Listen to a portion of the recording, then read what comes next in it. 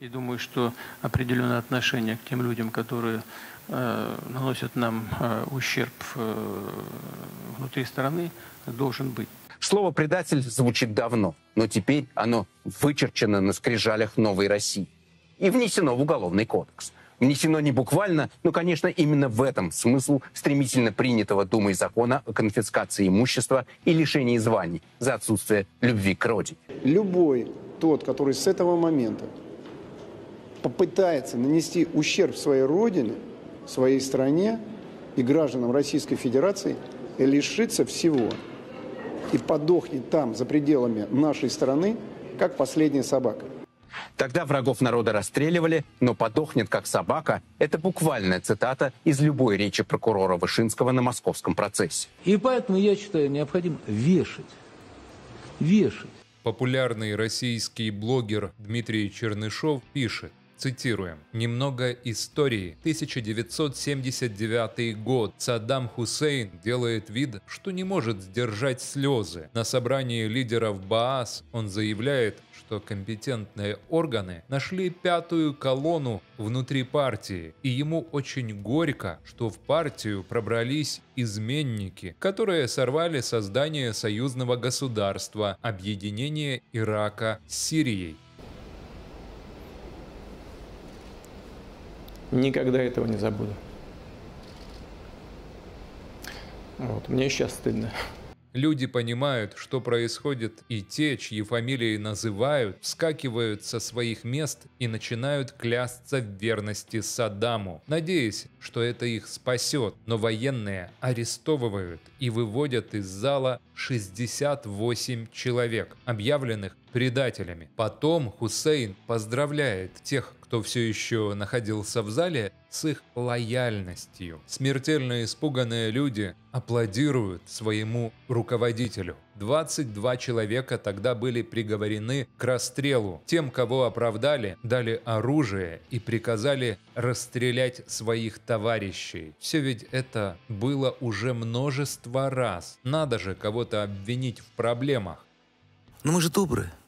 Якобинцы утверждали, Францию со всех сторон опутали предатели, эти ядовитые насекомые, распространяющие бесстыдство, фальш, подлость, и начали террор. Сталин вычистил всю Ленинскую гвардию, все командование армии, всюду предатели и вредители, и начал террор. А теперь, дорогие друзья, прошу всех пройти на торжественное мероприятие, посвященное открытию культурно-исторического проекта «Сталин-центр». Один раз построенная машина террора постоянно требует новых жертв. Мясорубка не может крутиться в холостую. Чекисты хотят жрать постоянно.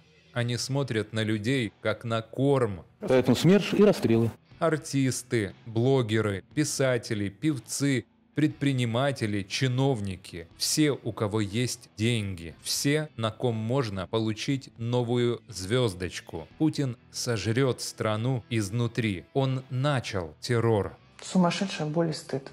Конечно, глобально все мы сделали недостаточно, чтобы этого не произошло. Что мы могли сделать? Я не знаю, Юр. Мы недооценили, наверное, уровень угрозы. Мы не понимали, что мы реально летим в самолете, который медленно и верно захватывают террористы, которые дальше будут делать с нашими жизнями и жизнями наших детей что-то непоправимое, необратимое. Нам казалось, ну, они просто воры, как бы, и неудачники, и мудаки. А они реально маньяки. Вот это стоило бы, конечно. И в итоге оказались правы люди, которых мы считали почти городскими сумасшедшими, такими кликушами, знаешь. Сейчас смотришь то, что Валерий Ильич Новодворск, как говорила в 2014 году, и думаешь, блин, она все знала. А мы думали, что, ну, бабушку ведет, как бы. Или Немцова какого-нибудь смотришь, который должен, ну, блин, чувак, ты паникер, как бы так не будет. А, фух, мы знаем, как дальше было. Врагов надо заставить работать. Но не так, как они хотят сами, а так, как это нужно государству. Они враги, а врагом можно объявить каждого. Осенью 1931 года было начато строительство Беломор-канала. И здесь впервые возникла новая идея о взаимоотношениях государства и человека. Заставить работать, естественно, даром миллионы людей. Превратить их в рабов. Какие репрессии? Смотрите, люди гуляют, красота. Все вообще замечательно, шикарно.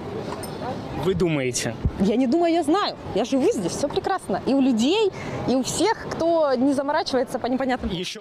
Сейчас в современной России э, за последний год, по-моему, только 5 или 10 дней не было заведено каких-то политических дел. То есть у нас сейчас количество политических репрессий, оно максимально со времен сталинизма. Взять эту мразь и посадить в мешок и привезти в Россию.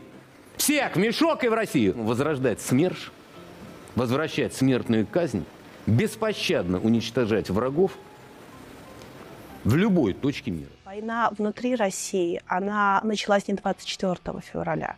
Война против инакомыслящих, да, против тех, кто э, не поддерживал Путина, не поддерживал путинскую систему, она шла уже как несколько лет до этого, а, потому что вот эти вот репрессии, политические убийства, это все шло и против политических активистов, и против независимых журналистов. Много врагов, много врагов торчит там, много дегенератов, которые выдают врагам знания, чтобы заработать 20 копеек. И их надо судить. Их надо наказывать жесточайшим образом. Мы сейчас находимся в ситуации, когда в России уже много политзаключенных. По подсчетам мемориала около тысячи человек. Я хочу напомнить, что даже в брежневские времена политзаключенных было, если я правильно помню, 280 человек. То есть сейчас уже там в 4 раза больше число увеличивается. В книгу попало 72 человека. Это меньше 10% заключенных. Вот. И у них есть два качества, на которые обращаешь внимание, когда читаешь подряд этот текст. Очень важно. Во-первых, у этих людей пониженное чувство страха. Это видно. То есть вот это вот, э, что ли, смелости там гораздо выше среднероссийского показателя. И во-вторых, это все люди, которые не ограничиваются личным интересом, которые смотрят вокруг, смотрят вверх, смотрят в небо. То есть это люди, которые хотят изменить жизнь.